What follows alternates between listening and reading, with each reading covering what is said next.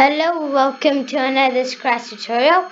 In this Scratch tutorial, I'm going to teach you how to make an pen health bar. So what are we waiting for? Let's get started. So first of all, I'm just going to rename this project to like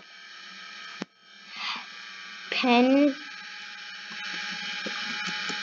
health bar. Health, whoopsies, what did I wrote? Health bar. Nice. And now uh, now let's start by going to the costumes and we are going to delete one of the costumes and clear the uh, the one you haven't deleted. So let's get started by making a block. Okay so I'm going to name the block um to uh, let's just name it to draw line uh, number input or text uh, x put x another one x2 and another one y click enter uh, and, and click OK and now we have a block so now first of all we need the pen. So uh, if you see this uh, thing just click on it and then you will find this pen thing. Click on it and now you have it. So now I'll just grab a pen up And now let's just go to motion, grab a go to block, and grab a go to X of its position, and Y. Pen down, go to pen, grab a pen down block, and another one, go to another go to block, and let's grab this time X 2 x2 and y this time now. And then do pen up. Nice. But still nothing will happen because we need to write the numbers where we draw. So now let's grab a one green flag click in events one green flag clicked. Let's go to control a forever loop um, and after that uh, let's create a variable named player health because we are going to use the slider of the player health to make it uh, like you know whatever. Make it move. So let me just type player health.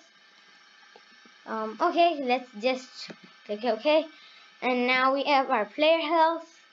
So now let's just set my player health. Like no no no no. A player health to you you can choose whatever you want but I'll just choose 75 and now let's grab a go to pen grab a erase all pen erase all set pen size to you know it's your choice. Um I think I will just do 10 yeah 10 and then set pen color to I think the gray gray color. I I like gray so, so that that's why. I think this is nice. Yep.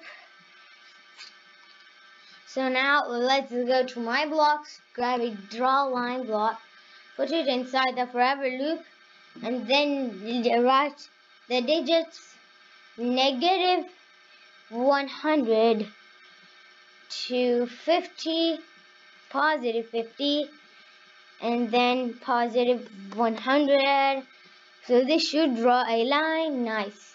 This draws a line. Now we need to make the green parts so till we are in pen. I'll just click pen and then I'm going to set the pen size to a smaller number. Like I think 5 will be okay.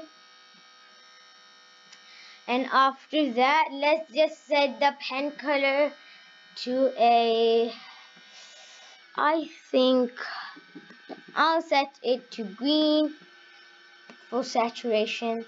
I think this is a nice green color. Yes a bit more I think. I do not know. I'm not a good color chooser I guess. So uh, now when we are done let us make the pen draw. Let, let's see what happens. Nothing. Because it doesn't draw anything right? So now let's go and grab a go, go more blocks go to my blocks and grab a draw line. And this time we are going to grab a write the digit negative 100 but this is going to be different. Grab a player health variable. Go to operators. Uh, grab a minus operator. And then I'll write 50 oopsies. Um 50 nice. Put the player health variable inside it and then let's just grab a times of multiplication operator and then let's just put this inside here and make it 2 or whatever digit you want to multiply. I like 2 and I'll write 100 at the last section. So I'll just uh, right click click slider and nice. Okay this will be a problem so just stop the project. Again right click it change slider range. I'll just make it to 75 nice. When the flag is clicked it's now here and now boom we have a health bar working health bar so I know this was a simple health bar. You can now make your own games like that with health bars. Use using this code using this video's help you can do anything you like. So i hope you like this video. Please subscribe to my channel. Don't forget to like this video and peace out